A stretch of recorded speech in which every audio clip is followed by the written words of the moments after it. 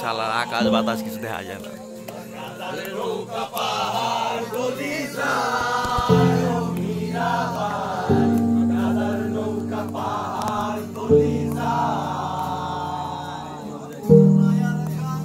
Cigarette খাওয়া যায় একটা গেলে শুয়ে যাও করে ঘুম শেষ। বান্দরবন ট্যুর শেষ আজকে